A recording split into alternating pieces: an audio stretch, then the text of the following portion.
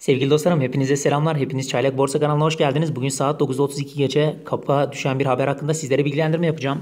Peker Gayrimenkul Yatırım Ortaklığı Anonim Şirketi maddi duran varlık alımı yapmış. Bakalım neymiş bunu bir özet olarak e, bakalım. Gayrimenkul e, alımı hakkında bilgilendirme.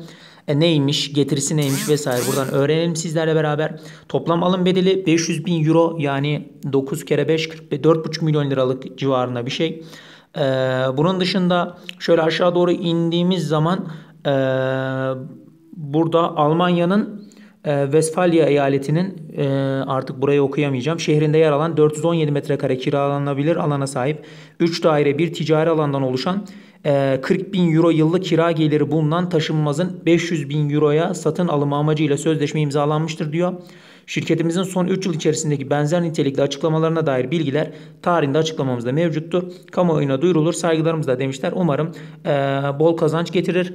E, 40 bin euro da yıllık getiriye vurduğumuzda 9, 18, 20, 360 milyar civarında bir e, burada kira getirisine sahip. E, umarım bu da bu şirketin yatırımcıları açısından e, hem ülkemiz açısından e, döviz girdisi olarak e, faydalı olur. Herkese hayırlı günler diliyorum.